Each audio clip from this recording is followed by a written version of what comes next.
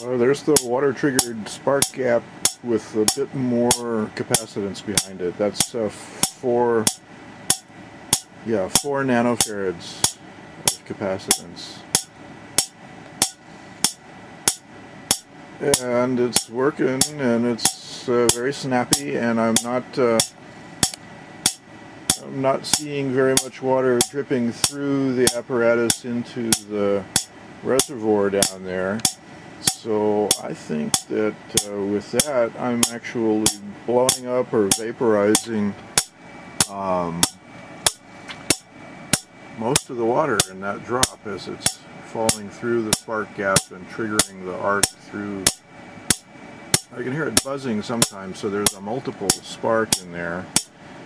Uh, which probably means I need even more capacitance and that'll make it work even better.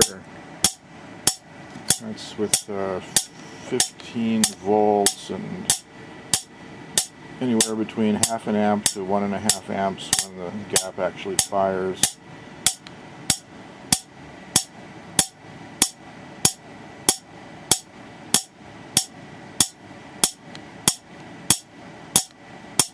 Alright, thank you for watching.